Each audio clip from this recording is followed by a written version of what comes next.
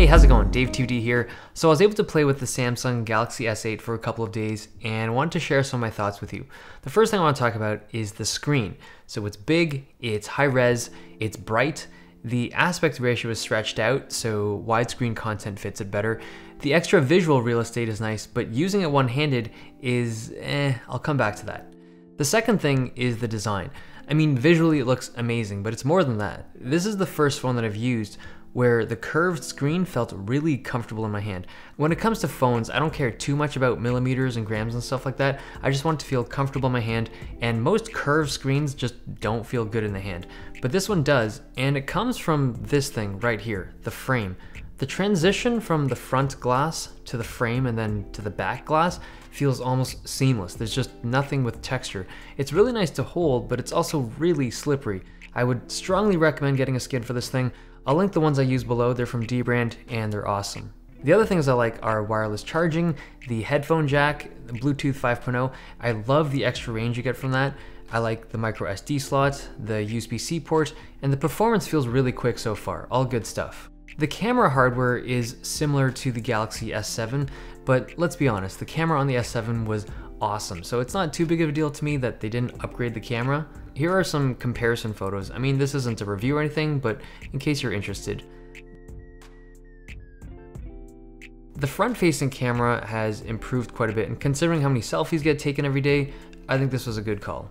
Now, these devices have large screens that are super bright and have high resolution, so there's a lot of pixels to process, and the battery size isn't huge, so I wasn't expecting amazing battery life, the first full day of use, I ended the day with 32% left. Relatively heavy use over the course of the day. At night, I charged it back up, watched some YouTube videos, and then I streamed a Twitch channel overnight with max volume, max screen brightness, highest resolution, not the 1080p plus default, but the 1440p plus.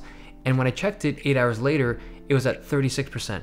Screen on time was basically the same. I think that's not bad. I mean, if I streamed that on an iPhone 7, I'd probably get some very similar numbers. Samsung DeX is kind of cool. I don't know how many people would use it. I mean, turning your phone into a tethered desktop experience is not something that I would use very much personally, but it's there, the option's available if you need it. The facial recognition is awesome. It works fast and it's reliable. I tried it with sunglasses just to see, and I mean, these are the sunglasses I used. They didn't work very well, just straight up doesn't recognize it. Now, I don't wear glasses, like regular glasses, and I just wanted to know what would it be like for people that do wear glasses, so I popped out the lenses for my sunglasses. This is gonna look ridiculous. And I wore it on my face, and I tried to get the phone to recognize these look these look amazing. I tried to get the phone to recognize my face, and it was like hit or miss. Sometimes it would work, sometimes it wouldn't. I should wear this for the rest of the video. okay, I can't do it. The fingerprint scanner isn't in the best location. I have to stretch for it, but really, since the facial recognition is so good, I'm totally fine with it being on the back like this. The Galaxy S8 is packing a lot of cool tech, and that's just how Samsung rolls. They take the top of the line in phone tech and they stuff it into their phones, and they usually end up with something like this really high end tech in a top tier flagship phone. But hardware specs aren't everything. For me, user experience is by far the most important thing when it comes to any kind of device. And with this, there's a couple things that kind of detract from the user experience. The first is that on-screen home button. I think it could or should be a little bigger and the haptic feedback isn't good. It feels like a regular phone vibration. If you're gonna do this, you need a more localized vibration like how the iPhone 7 button feels.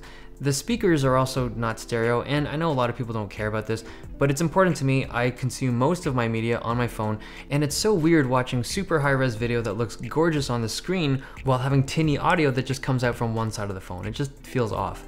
The screen is also difficult to use one-handed. So a wide phone, like the Google Pixel XL, this is already wide and a little bit uncomfortable to use, but it's okay, I manage. The S8, because of the tall screen, the vertical stretch is crazy. This is actually the first phone I've had to use one-handed mode, and this was on the S8. It's gonna be even worse on the S8 Plus. The last thing is probably my most personal opinion. I know a lot of people are going to disagree with this, but I don't love where they're going with Bixby. And I know I haven't given it an extended trial, but Bixby is such a heavy investment and commitment into the exact type of stuff that I don't like about some of Samsung's software. Their proprietary Samsung apps that are just stuck on your phone you can't get rid of. And this time it comes with a dedicated hardware button. So if you're interested in this phone and you enjoyed the S6 and or the S7 user experience, you're gonna love the S8. It's just basically an elevated version of those phones. Truly next level hardware, you're gonna love it. But if you didn't like the S6 and or the S7 because of the user interface, because of the user experience, it's gonna feel very similar.